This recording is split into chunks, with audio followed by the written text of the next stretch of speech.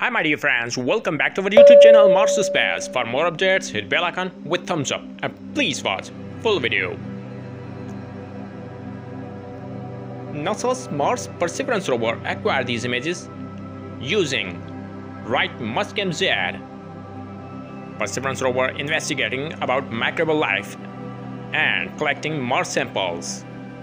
NASA's Mars rovers already found many clues of life on Mars. In the early days of our solar system, about 4.5 billion years ago, the rocky planets were covered in magma ocean.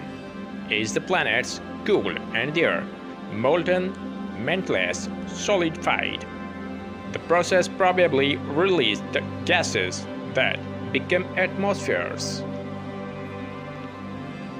This is the reason, because of Mars is just a dead planet with dunes and just rocky area. If you like my video, hit thumbs up and don't forget to share to your friends. Thanks for watching.